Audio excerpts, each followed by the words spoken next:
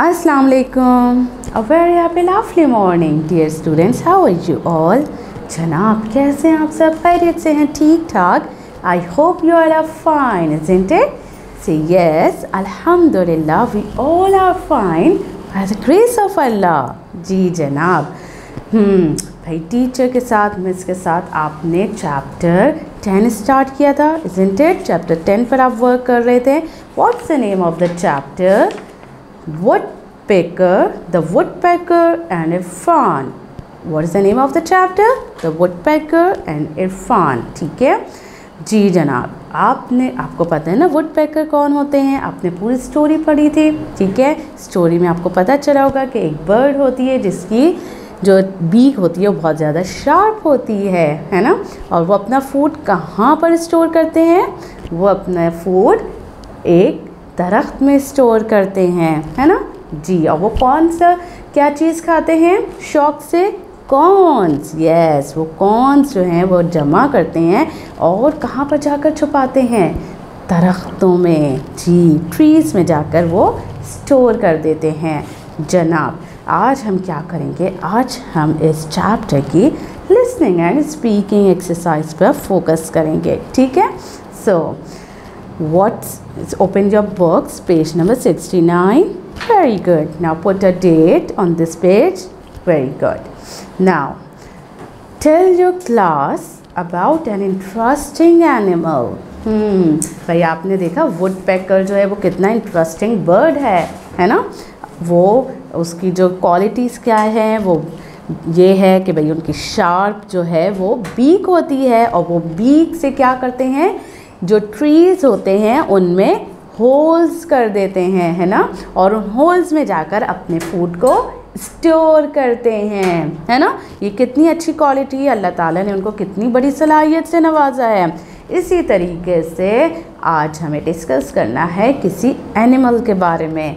अच्छा ये बताइए कि भाई, आप लोगों का फेवरेट एनिमल कौन सा है? भाई, मुझे तो लॉइन बहुत पसंद है है ना? लॉइन वाओ कितना स्ट्रॉन्ग होता है लॉइन और क्या होता है भाई?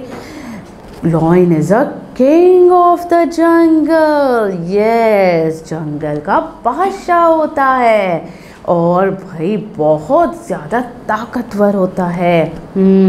और क्या होता है भाई? लॉइन जो है, बहुत ज़्यादा बहादुर होता है ब्रेव होता है। इसीलिए तो लॉइन को किंग बनाया जाता है पूरे जंगल का।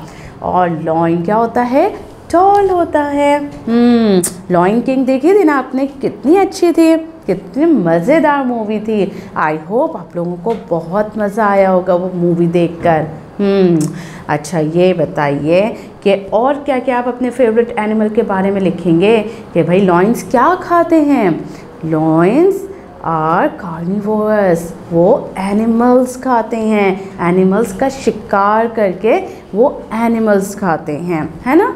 जी, और क्या क्या आप लिख सकते हैं?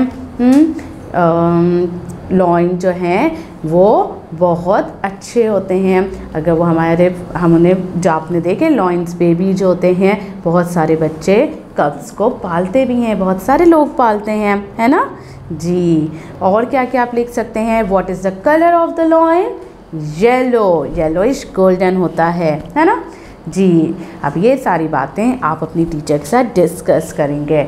Now what is the another part how human store their foods give some examples भाई, आपने वुड पैकर का देखा कि वो किस तरीके से स्टोर करते हैं? वो बीज से जो है वो दरख्त में ट्रीज़ में होल करते हैं और उसमें जाके अपने फ़ूड को स्टोर करते हैं। इसी तरीके से ह्यूमंस भी अपने पास फ़ूड स्टोर करते हैं, है ना? भाई, हम भी अपने पास अब बहुत सारी चीज़ें स्टोर करके रखते हैं। तो हम अपने पास किस तरह से स्टोर करते हैं और क्या क्या स्टोर करते हैं? भाई, जैसे स्पाइसेस जो होते हैं, आपकी मामा कहाँ पर रखती हैं? बॉटल्स में डाल के रखती हैं और उन्हें किचन में रखती हैं, है ना?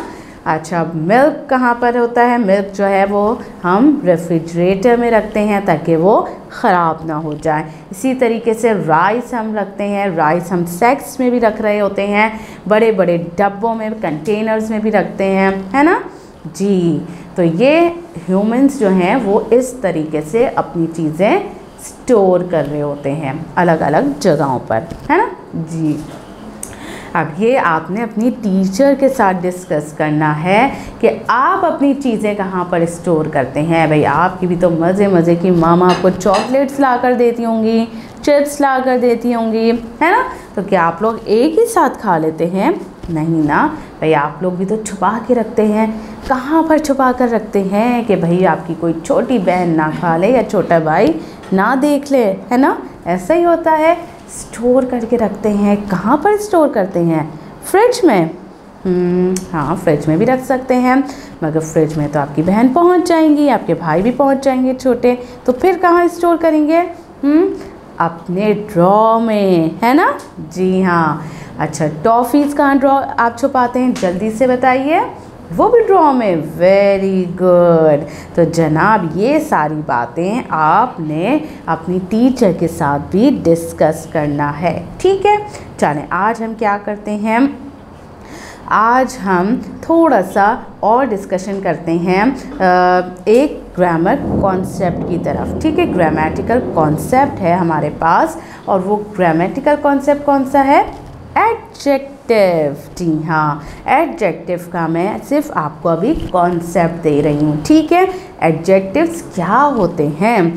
भाई एडजेक्टिव्स बहुत सिंपल होते हैं। आपने नाउन्स तो पढ़ा है नाउन्स क्या होते हैं? नाउन्स जो हैं।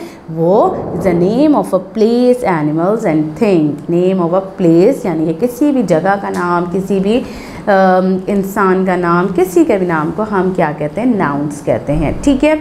अच्छा जो नाउन्स होते हैं, उनके जो है कोई ना कोई क्वालिटी जो बयान कर रहे होते हैं। ठीक है? तो हम उन क्वालिटी वर्ड्स को क्या कहते हैं? एडजेक्टिव्स क्या कहते हैं? Adjectives for example Ahmad is a brave boy तो उसमें ब्रेव क्या है हमारे पास? एडजेक्टिव है। ठीक है? क्योंकि वो अहमद की क्वालिटी बयान कर रहे हैं। तो हम उसे क्या कहेंगे? एडजेक्टिव ठीक है? Lion is a strong animal so strong क्या है? एडजेक्टिव ठीक है? जिराफ इज़ वेरी टॉल तो टॉल क्या है हमारे पास? एडजेक्टिव जो भी वर्ड किसी की क्वालिटी बयान करता है, हम उसे क्या कहते हैं?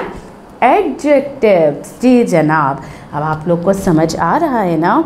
तो आपने जो यहाँ पर डिस्कस किया था लॉइन के बारे में तो लॉइन के बारे में जो हम डिस्कस कर रहे थे, उसमें भी हमारे पास बहुत सारे एडजेक्टिव्स आए थे। जैसे मैंने आपको कहा था कि लॉइन इज़ वेरी ब्रेव तो ब्रेव क्या था हमारे पास? एडजेक्टिव था। ठीक है? लॉइन जो है वो किंग ऑफ़ द जंगल तो किंग क्या हमारे पास? एडजेक्टिव होगा, ठीक है? तो इस तरीके से जो भी सिफाती नाम हमारे पास आ रहा है, हम उसे जो भी क्वालिटी होती है, उस वर्ड को हम क्या कहते हैं? एडजेक्टिव कहते हैं, ठीक है? आपने ये अपनी टीचर के साथ डिस्कस करना है। प्यारे बच्चों, अपना बहुत ज़्यादा ख्याल रखिएगा। है अ नाइस डे अल्लाह हाफिज़